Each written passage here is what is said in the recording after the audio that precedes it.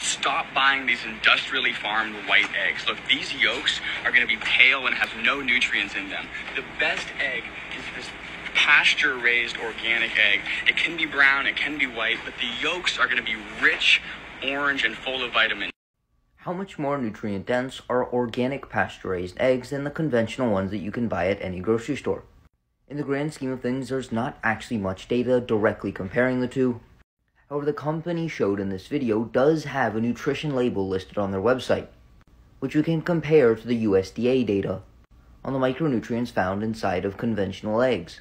Before I start, I want to mention that this company is doing fantastic work. The things that they are doing is amazing. But is there evidence supporting that conventional eggs have no nutrients in them?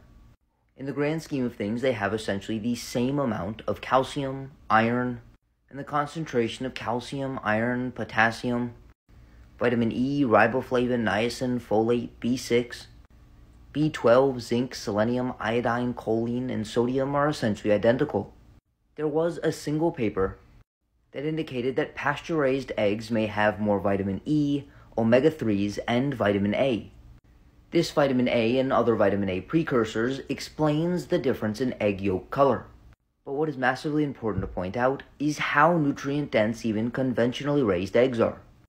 For two eggs, you would get a fair bit of your daily requirement for vitamin E, B6, D, A, B5, B2, B12, choline, copper, zinc, calcium, sodium, iron, phosphorus, and selenium. And the best part about eggs is how cheap they can be. For example, you can buy a 30 pack of eggs in North Carolina for $2.91, coming out to less than 10 cents an egg. However, the cheapest price you can find on organic pasture raised eggs is about $8 for 12 eggs. In the grand scheme of things, if you have the money to spend on eggs, there's nothing wrong with buying the organic and pasture raised eggs. However, the inexpensiveness of eggs is one of their best and most important attributes. Therefore, you absolutely should not feel bad if you can only afford to get the conventional brand. And it does appear that even if you're buying conventional, you will still be buying an extremely nutritious food item.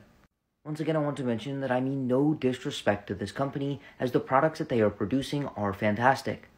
And it does not appear that they are making any substantial claims that their eggs are far superior to the conventional eggs. However, there are many scary videos on social media telling you that conventional eggs are not going to provide you any nutrients.